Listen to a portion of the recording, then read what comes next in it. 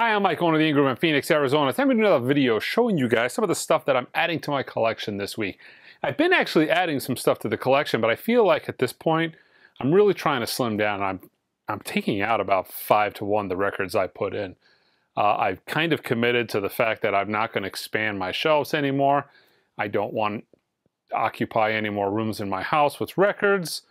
And, you know, I'm trying to go through at least every single week and pull stuff that I know that I'm probably not going to listen to in the future or that, you know, stuff that I haven't listened to in the past. I do have things in my collection that I have that I don't listen to because it's something I might find interesting in, in the future.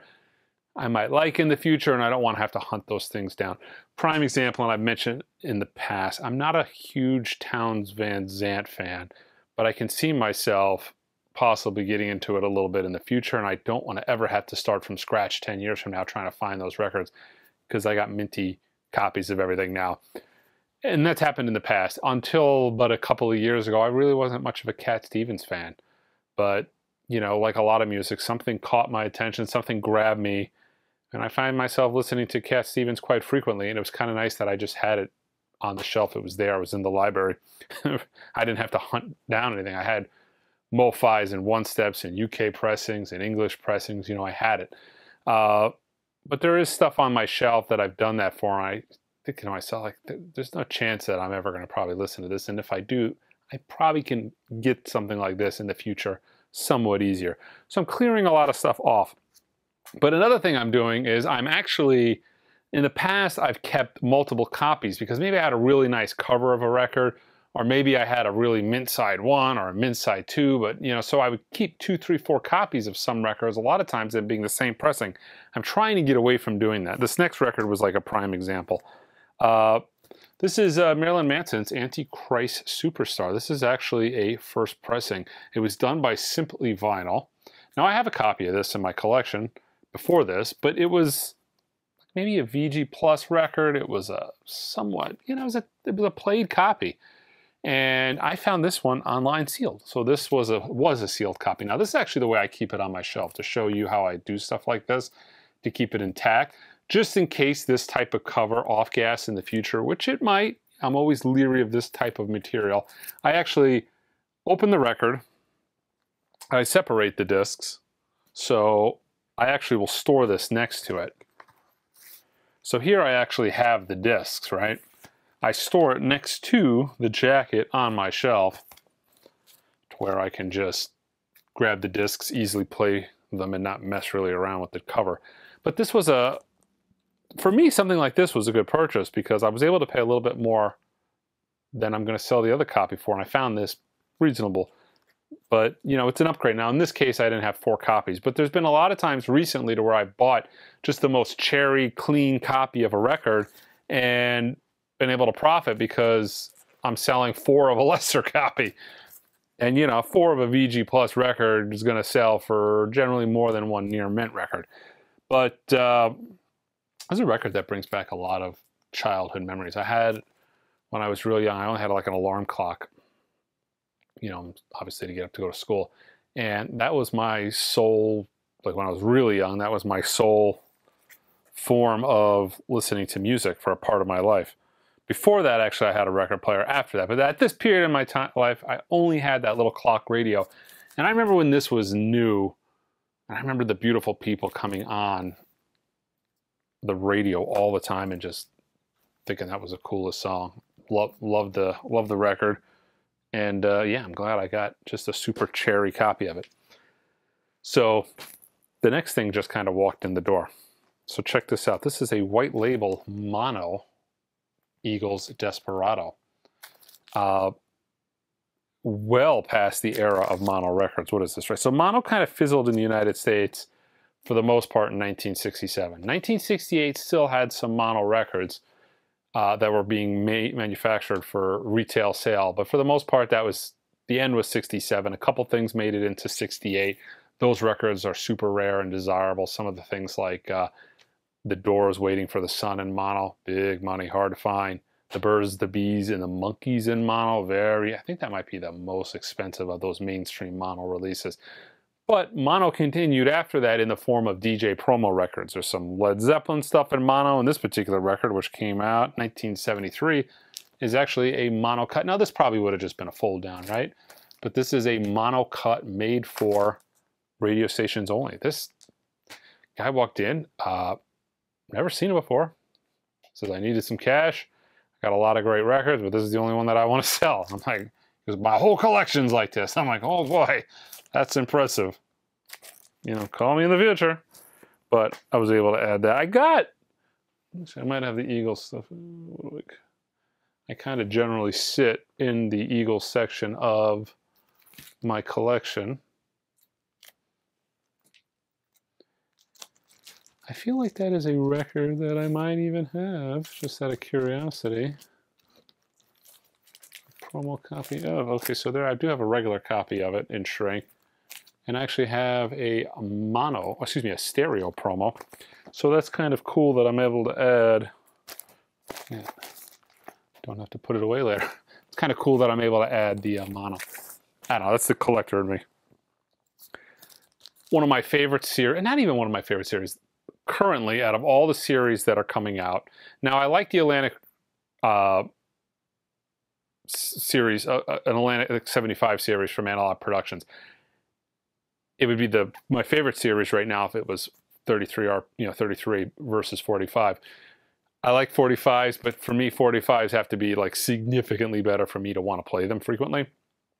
Uh, I've mentioned it many times. The Doors LA Woman, Analog Productions has done is so much better than everything else that I have that I really will not listen to that record anything but that Analog Productions 45s. But for the most part, if a record is not like that, significantly better, I really don't want to be listening to 45s too frequently, although there have been some fantastic records in that series, and I've actually included one of them in this video.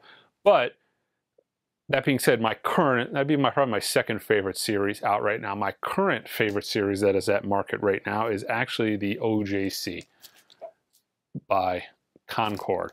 So where Blue Note titles have been done a bunch. We've had Music Matters, we've got Tone Poets, we've got Blue Note Classics. A lot of great attention has been put to the Blue Note catalog, and some attention has been put to Concord's catalog, but not nearly, you know, Analog Productions did the Fantasy series. Maybe they did 100 titles from Fantasy, but again, they were all at 45. These are all at 33, but they're made kind of like a tone poet in the sense that it's a nice, thick tip-on jacket, right? And discs mostly cut by Kevin Gray, which when I go back and listen to the Kevin Gray cut 33s that are done today versus those older analog productions titles from 20 years ago that have been done as well as part of this series, I prefer the 33s this is a catalog that there's so much that they can mine from the you know from the from the catalog. There's so many great titles that have not been done to death that really need to be redone. Some of the stuff has been done. The prestige stuff that Analog Productions did is fantastic, but that was 50-ish titles, less than that. Some of those are blues titles, but this series is unbelievable. I absolutely love them.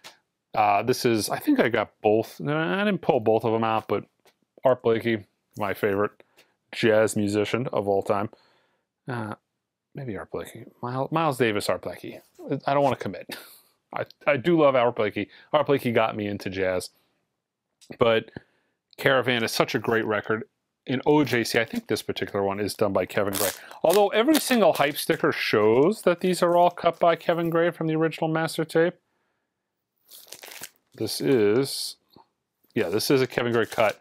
Matt Lutthans, his uh, apprentice, has been cutting some of the titles. They've been fantastic as well. They're cut at Cohearent on Kevin's system, and they sound fantastic. But keep in mind, although they all say cut by Kevin Gray from the original Analog Master Tapes and Press That RTI, some are cut by Matt Lutthans.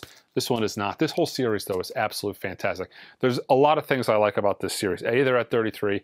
B, they're titles that haven't been done to death. C, a lot of the titles that they're doing are titles that you cannot easily find clean copies of. You know, certain things like Riverside titles, I, I, I find cost more money, but I think it's easier to find clean Blue Note titles than it is to find clean Riverside titles. Uh, some of the stuff, the new, some of the squirrelier titles that they've done, man, you just never see them. They're so rare and they're so difficult to find clean. Like Tommy Flanagan's The Cats, the Coltrane Flanagan. Uh, but this is one of those records that this is a more common record, but this whole series, you're getting things that are so difficult, like the Bill Evans stuff. You can find clean Bill Evans Waltz for Debby live at the Village Vanguard. Live at the Village Vanguard, by the way, is on my top 100 imprint analog records you should own list from this series. But finding those records, originals, clean, like good luck. I mean, even if you find copies that are near mint, you don't find copies that play near mint. So this series has been fantastic. Oh, and another thing, I actually am getting to the point, like I said at the beginning of the video, where I'm having space issues. I'm getting to the point where I kind of like the very, I like the non, you know, the non-gatefold. This is, when you're in a situation like me where you have to live with the space you have, you've decided you're not going to add any more space, you kind of get to the point where if you get too many thick gatefolds or things that take up too much space, you got to sometimes take two, three records out to put one on the shelf.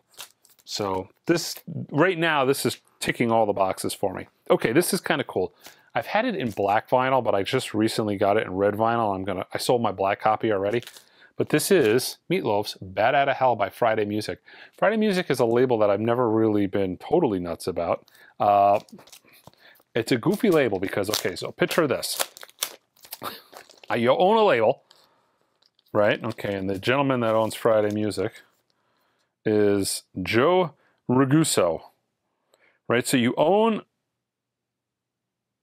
you own a label, and for some reason Joe Reagoso wants to do all the mastering himself and then have I don't think Kevin does it anymore. I don't know. I haven't talked to him about it, but it was a really squirrely situation where Kevin cut all these records, but Joe like did the mastering on them. Like, what the hell was the reason for that?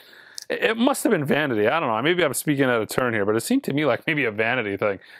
You know, I'm not going to attempt to master any records in the future if I do releases. Uh, what I would do though is say, uh, "Here you go, Kevin. Uh, good luck. Have at it. This is, you know, or Bernie or whoever I'm getting to do it. Like, I would let these guys do it. But for the most part, I've not been nuts about the Friday music stuff. It's always been weird, especially considering Kevin Gray's name is attached to it. But on a side note, this is probably the best I've ever heard this record. This is the Kevin Gray cut, but you know, what did they say on the back? Let's actually get ready to read it. Let's see. Mastered from the original international tapes by Joe Reagoso and Kevin Gray at RTI. Who's in the dead wax? Kevin Gray at Acoustic Mastering. Yeah, so Kevin's in there. But uh, this is a record that is a sonically flawed record to begin with. It's not one of those records that was recorded extremely well but I actually love Meatloaf. There's about 20 records that I'm very partial to because of my childhood. So again, I've told you guys in the past, I come from a very dirt poor family. My father had about 20 CDs, which were probably 20 more than anybody else we knew. But they were like, I think the BMG 13 for a penny. Well, I never remember any coming in the future. So I have a feeling Pops got his 13 CDs for a penny. there was two of us in the house, so maybe he got one for me, got one for him, and uh, never seen another CD. But of those original CDs were Meatloaf's "Bat Out of Hell" and "Back into Hell," so they were played to death when I was young, and I really truly love these two Meatloaf albums. All the other Meatloaf albums are pretty bad. Uh, but I had a chance to see him. I was going to go. I had tickets to see him. I think at a state fair maybe about 15 years ago. He canceled the show. Subsequently, afterwards, I found it. I found a DVD of kind of what he was touring at the time, and I remember putting the DVD on. and thinking to myself, I didn't really miss much by not going to see that show. Poor Meatloaf was, yeah, he was pretty much done at that point. Uh, but if you go watch like early Meatloaf videos when he was touring this album, some of those live performances are just they're unbelievable. He was a hell of a performer. He truly was. You know, very uh, you know, most of the stuff the Jim Steinman produced or the Jim Steinman wrote stuff was very operatic and just he he not only sung those songs perfectly, but it fit. You know, I mean, he was the perfect guy for Jim's work. Okay, I got a box of UK pressings in recently, and not a ton of them are great, but I did get the first Roxy Music. So I actually love Roxy Music, but oddly enough, my favorite Roxy music is kind of the middle. I absolutely dislike Avalon. I don't think I've listened to Avalon in like 15 years. I don't like Avalon. Like that's my least favorite uh, Roxy music record.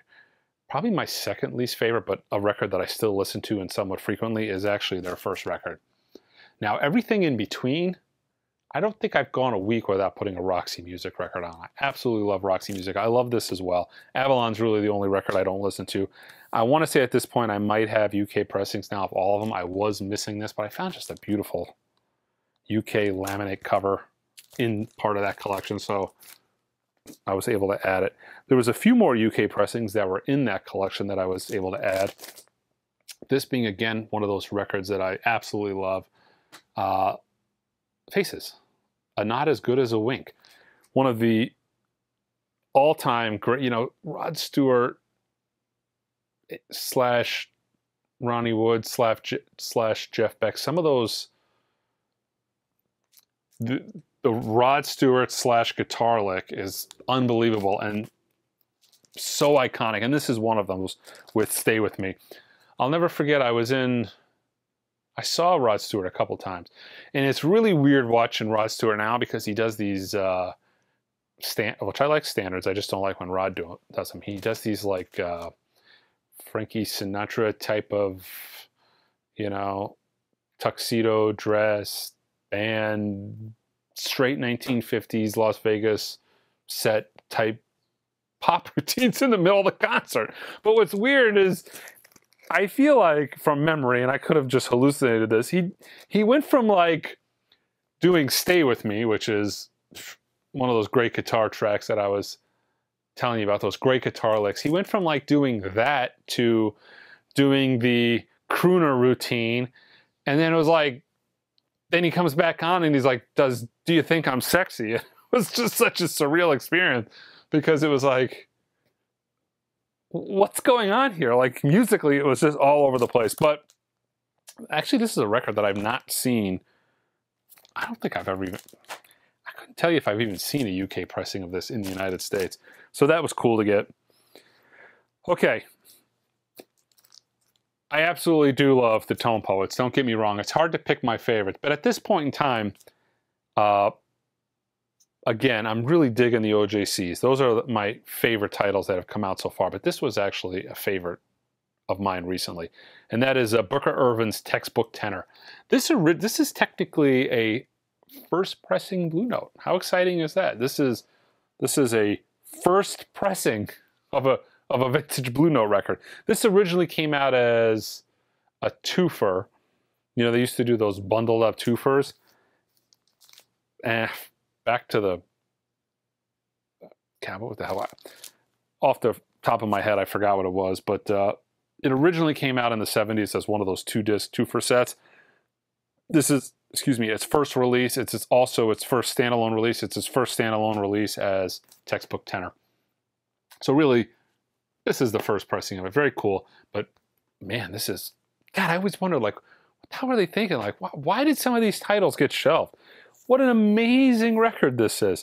Uh, so much fun to listen to. I really enjoyed this uh, quite a bit. Woody Shaw, Kenny Barron, Billy Higgins. What a great record. New-ish type Blue Notes in 2024. Uh, so I enjoyed that. This came out with Jackie McLean's Action, Action, Action, but I've got that as, I want to say, the hell do I have that? I feel like I've got to have a couple of good copies of that as something original or maybe that came out as a, I don't think it came out Music Matters. It came out as a, maybe Classic Records. I don't know. Don't hold me to any of that. But that was a great title as well. But this was one that took me by surprise. Okay. Craft Records one step series. This is essentially their take at a one step. So their latest is Isaac Hayes Hot Butter Soul. And this, out of all the ones that they've done so far, was the one that I was looking forward to the most. Because the first couple of titles, like for instance, the uh, John Coltrane Lush Life or the Eastern Sounds Yusef Lateef, there's, man, the original OJCs of those records from the 80s are pretty damn good. The John Coltrane has been done. They, there's great copies of that out there. The thing is with 1970s soul is I've heard what audiophile masterings can do to those records where they just kind of leave more of what's on the tape in the mu- you know on the record. They don't cut the bass, they put it on higher quality vi- vinyl and the results have just been mind-boggling. So when I saw this get announced, I thought to myself, "Oh man, this has the potential of being absolutely a banger." And uh, yeah, I think they did I don't know, is this a bad sign? I got mine. It's, uh, if you can see that on the camera. I got number 666, but uh, maybe I just have uh, a satanic, demonic version of this record, but it is, it's on fire. It's absolutely unbelievable. This record, I, I cannot recommend this more highly you want to own this record. This Isaac Hayes Hot Butter Souls Hot Butter Soul is unbelievable. Blue Note, or excuse me, uh, Mobile Fidelity's done it. The original, I've got many copies of this record. They don't even hold a candle to this. This has been the first. This is like where they should have started off with the label, you know, with this series. But I feel because of the way the market is now, I don't know how many more of these we're going to get. But this particular title it's just an absolute home run. Uh, you know, and they're reasonable-ish. It's $110. They're done on, I'll show you, they're actually done on VR900 compound, which is the absolute best vinyl formulation. You know, you can see it, it's see-through. It's the absolute best vinyl formulation you, you can get, the best. Uh, I kind of like this configuration. Unfortunately, this is direct to consumer only, so you got to get this directly from Craft. But holy cow, I had to get it from Craft. It's fantastic. They really just knocked it out of the park with this. You know, it's 110 bucks. It's a little on the high side, especially from a direct to consumer product. Uh, the box is mediocre-ish, but they do this like, like plastic cube inlay, which can't be super cheap. But the boxes of all the one steps, I don't know the box is kind of on the uh, lower end side of everything, if not the lowest of the of which is available. But they do a good. The covers are really nice. They're not glossy, but they're those thick tip-on type jackets. But uh, anyways, uh, they're also the cheapest. So given that, uh, you know, who cares? But the the sonics of this record are absolutely unbelievable. Highly recommend this. What a great record too. It really bumps. All right. From the Analog Productions series, this particular record, the Crosby, Stills, Nash Couch album, has been fantastic. I, have loved this. It, it's not only sonically probably superior to anything I've ever heard. I'm pretty sure at this point it is. So far, I haven't done a really like super deep comparison to where I've listened to every single record, but I've listened. I went back and listened to the MoFi, I went back and listened to the original and I put a few others on, and so far I was like, this is on top. Uh, unfortunately, they raised the price of these five dollars of all the Crosby, of all the CSNY related stuff, and I think that's probably because of the cover. Although Chad, I didn't ask him, I probably will at some point, but I'm going to assume it's because of the cover. It's this beautiful linen cover. They really just knocked it out of the park with these. Sonically, This record is unbelievable. 100% all analog, mastered and cut to lacquer from the original master tapes. I love the SPARS code. Uh, not that anybody will admit it, but I really take pride that I'm. I really truly believe that I'm the guy that got these on these back at these records. Seeing it, you know, uh, is super cool. It's so awesome. It's there forever. Nobody ever in the future, and the reason I call for it during the whole mobile fidelity debacle a couple years back was you know, and I remember talking to Chad at the time, and he's like, you know, well, it's on our website, and he, he you know, he was being very forthcoming, like we're we're honest, we're on, we'll tell you what we're putting out. And I remember saying to him, like, yeah, I know it's on your website, but I bought records from your website 20 years ago, and they're not on your website no more. And people that are getting into vinyl don't know to check the website, or they're not on the website anymore because it's a discontinued record. You know what will never go off of your website? This on the back of the record. This is what we need. 50, 100 years from now, somebody will be able to look at that. Now, assuming the information is accurate, which obviously we know from past, uh, sometimes it's not as cut and dry as that, but for the most part, what it tells you here is anything anybody will ever need to know by looking at the record and never having to go out and seek information elsewhere. And it's so cool to have that. But getting back to this record, it's so far, God, the best I've ever heard. It's unbelievable. What a what a killer record. It's one of those records that's not necessarily the highest fidelity record ever. And the MoFi had its moments, but I felt the MoFi was kind of a little bit it had highs and lows. Like I, I didn't feel like a lot of that record. I didn't think the mastering. Like I kind of felt like you were. It was a little bit choppy to me, to where the record didn't go. Uh, together, where you know a song. Mastering is not only to imp- to get the overall sound of the record you want, but sometimes when you master a record, it is to uh, get songs that were recorded maybe separately to gel with each other. And I kind of got the feeling listening to that that some of those came off as really good, really fantastic on the MoFi, but some of them just didn't seem to fit with the others. And that's, again, that was like my initial thoughts on it. But Bernie Grundman cut this. I think this uses the old classic records parts. Unbelievable. Killer version. Highly recommend it. Uh, the series has been fantastic so far. There's been a couple titles and I'm like, eh, you know, okay. But there's been nothing that I've gotten from this series that's been like a disappointment. Uh, some of the titles are like, holy cow, this is so great. And then some of the titles are like marginal improvements. But this is one of those that's uh, on the upper end of holy shit. Uh, huge Rolling Stones fan. Seen the Rolling Stones 17 times. Going to see them in May. I'm pretty sure that'll be the last time I see them. Right? I mean, they do a tour what every eight, four, four, five years, three, four, five years. Uh, this will be my 18th, 18th time seeing them. I think. Uh, are they going to tour when they're in like their mid 80s, 85, 86? Probably not. I feel like this is the last time I'm going to see them. Fingers crossed. I'm going to take my son to it as well. I kind of hope that's going to ignite him to stop listening and playing only Metallica. Fingers crossed. But love live Rolling Stones. This is a killer concert live at the Wiltern, right around the turn of the 2000s. Solomon Burke comes out, does a couple numbers with them. They cover an Otis Redding song on this. Great live show from kind of the era when I started getting to see the Rolling Stones a lot.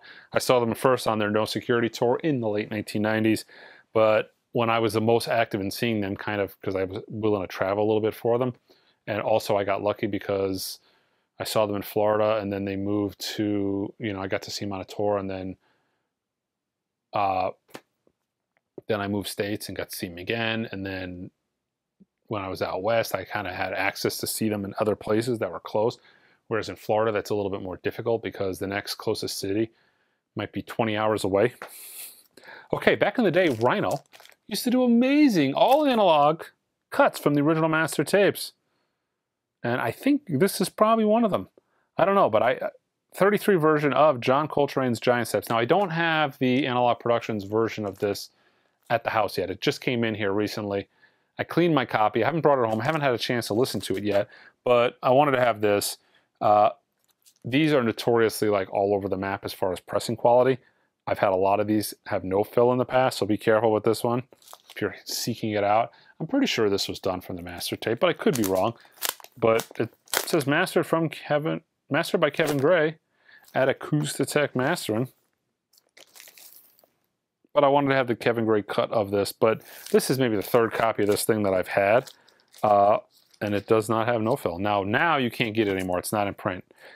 Uh, whatever stamper they were using probably wore out because I think it might have the same barcode on it, but they've taken off the Kevin Gray information on the hype sticker and it's cut by just somebody else. But uh, yeah, recently this was in my store. That's a price tag of mine that's about four years old. So, okay. Last, I'm going to show you a record that is up there with the top three, four, five. I'll put it in the top five and maybe closer to the top greatest live albums of all time, and that is James Brown live at the Apollo. This is kind of the record that made live records a thing. Before this, live releases of records really weren't a thing, they didn't exist. This changed all that. This was such a huge success. It changed the way live performances were done on vinyl, you know, from that point on. Uh, King didn't believe in this from story, you know, the stories I read. He had a, James Brown had to finance this himself, but it was such a huge success for them and for James. I mean, it changed his career, but also other acts started following suit by actually recording stuff live. And who knows, not been for this record, maybe uh, we wouldn't have a lot of the live stuff that we have now from the latter part of the 60s. Absolutely fantastic. Killer record. I have multiple copies of this. This is like a mid 60s pressing. I don't keep a lot of sealed records in my collection. I might actually open this excuse me, on a video in the future. I've often talked about how King records were notoriously crappy right out of the package. Uh, this is a sealed copy from the mid 60s. More than likely, this is going to come out of the packaging VG to VG Plus, which is how King records were back in the day. I've opened some in the past. They were notoriously crummy quality wise, and this is probably no exception. But uh, as of now, it's just going to sit on my shelf not a first pressing or anything, but again, the first pressing wouldn't have even been sealed. They weren't really sealing records 19, you know, late 50s, early 60s. 1960, I think this came out originally. But uh, mid 60s, that's when it kind of took hold. But yeah, kind of cool. I think I might open this in the future and check it out. But what what an iconic record. Definitely up there with the greatest live records of all time. All right, guys, check us out on the website at theingroove.com. Until next time.